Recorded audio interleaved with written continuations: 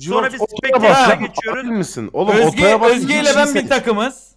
Jirox Tamam, hadi otaya gel. bas Hayır, da hayır. random birisini Değil mi satsan Jirox? diyor kanka. Değil mi Jirox? Özge ile ben bir Kemal takımız çıkar mısın değil mi? Özge'nin yanından? Oğlum biz bir takımız değil mi? Çık bura, çık bura, Ya oğlum Ayberk niye kalıyor bana ya? çık bura. Ya Hayır, ben hayır, gelin, ya. gelin ortaya, gelin ortaya. Ha.